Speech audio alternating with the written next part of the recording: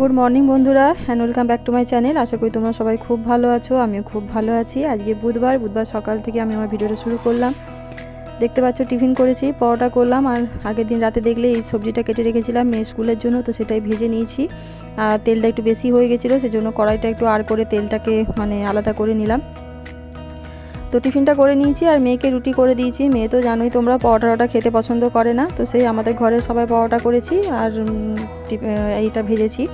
আর মেয়েকে রুটি করে দিয়েছি। এবার চলে এসেছি সকালে এই যে বিছানা তুলতে। বিছানা তুলবো কি? ছেলে এই যে ঘুম থেকে উঠেই বসে গেছে। ওর ভাঙা চোরার খেলনার ঝুড়ি নিয়ে বিছানাতেই রেখে দিয়েছে। না মানে আমাকে না দিচ্ছে সরাতে, না নিজে সরছে। ওই একটা জায়গাতেই দাঁড়িয়ে আছে। আমাকে কোনো রকম মানে এভাবে বিছানা তুলে নিতে হচ্ছে। ওইভাবেই দেখতে পাচ্ছ ঝুড়িতে হাত দেওয়াই যাচ্ছে না, তাকাচ্ছে আমার দিকে বারবার। তো যাই হোক, বিছানাটা তুলে নিই, তুলে নিয়ে এবার তারপর আছে রান্না, রান্নার কাজে লাগবো। কী কী রান্না করেছি সেটাও তোমাদের দেখিয়ে দিচ্ছি।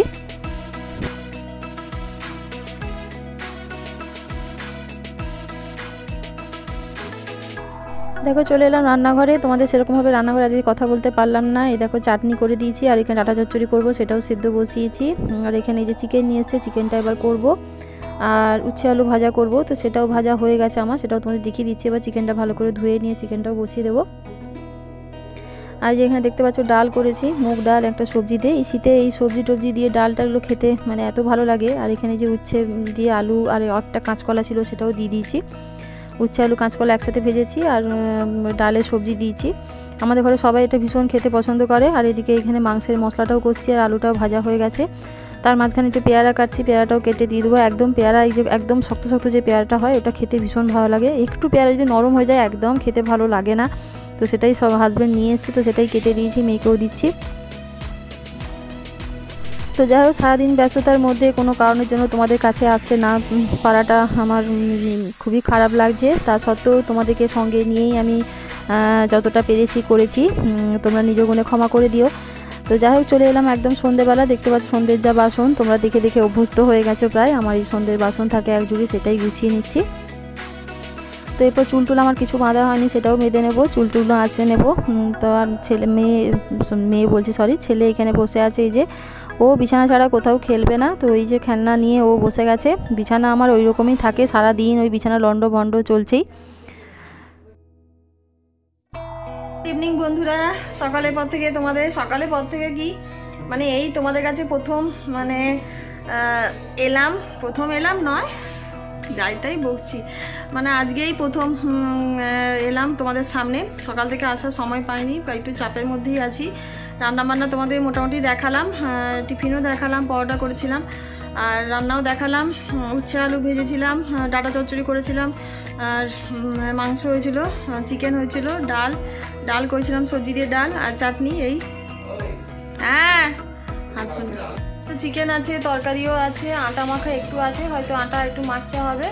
তো এই এখনও চাপ আমার খাওয়া হয়ে গেছে, ছেলেকে খাওয়ানো হয়ে গেছে, জামা কাপড়গুলো এখনও গোছায়নি ওগুলো গোছাবো।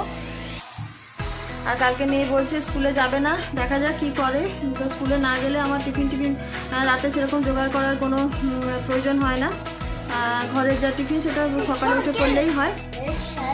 ছেলে বিছানাতেই আছে, রীতিমতো এই যে বুঝতে পারছ, বিছানাতে নিয়ে বসে আছে। আর আমার জামা কাপড় ওখানে দেখতে গেলে জামা কাপড়ের পাহাড় হয়ে আছে। বিছানা একদম ঠিক থাকতে দিচ্ছে না। এই কম্বল টম্বল সব খুলে দিচ্ছে মাঝে মধ্যেই। সেটাকে আবার চোদ্দবার করে গোছানো মানে খুব মুশকিল হয়ে যাচ্ছে। তবু পড়ে যাবে।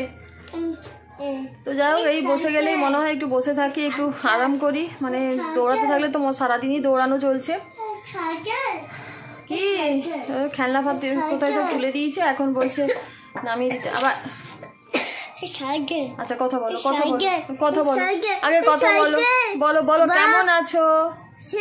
হাই বলো। কেমন আছো? বলো না বাই নয় বলো কেমন আছো? বাই নয় হাই হাই সি ইউ উম্মা উম্মা দাও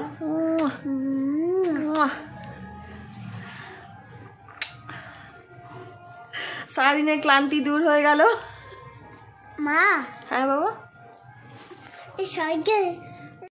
বিয়ে আছে আজকে গেল বিয়ে করতে।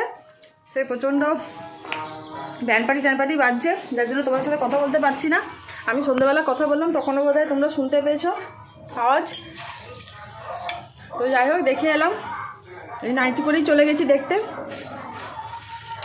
এগুলোই মজা। এরপর বুঝবে ও বিয়ে করে। আর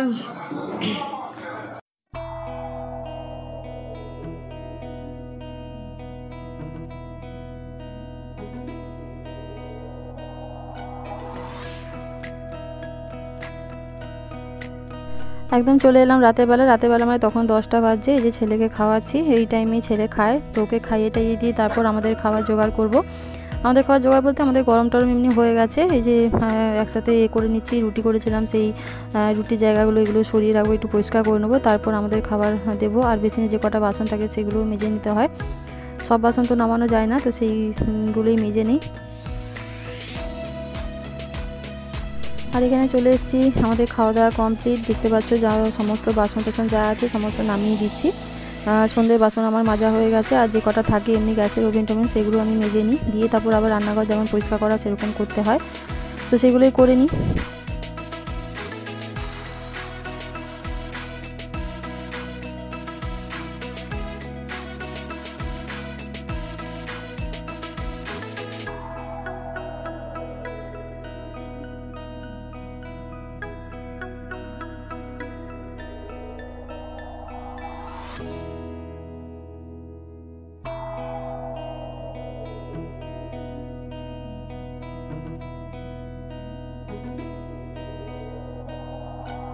রান্নাঘর ভালো করে পরিষ্কার করা হয়ে গেছে তারপরে যে গ্যাসের যে ওভেন টোভেনগুলো থাকে ওগুলো আমি মেজে ধুয়ে ভালো করে হ্যাঁ, পরিষ্কার করে রাখি রাতের বেলাতে। আর যে কাপড়গুলো থাকে সেগুলোও ভালো করে ধুয়ে নিই।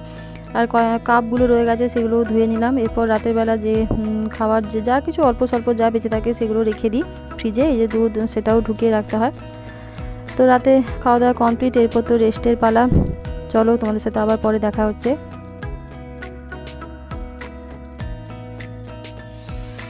তো চলো বন্ধুরা সারাদিনের কাজকর্ম আজকের মতো এখানেই ইতি। আবার কালকে নতুন দিনে নতুন একটা ব্লগ নিয়ে তোমাদের কাছে হাজির হয়ে যাব। ততক্ষণ তোমরা ভালো থেকো, সুস্থ থেকো, সবাইকে ভালো রেখো। তো টাটা বন্ধুরা গুড নাইট আর আমার ভিডিও যদি একটু ভালো লেগে থাকে লাইক শেয়ার সাবস্ক্রাইব অবশ্যই করবে। Tata good night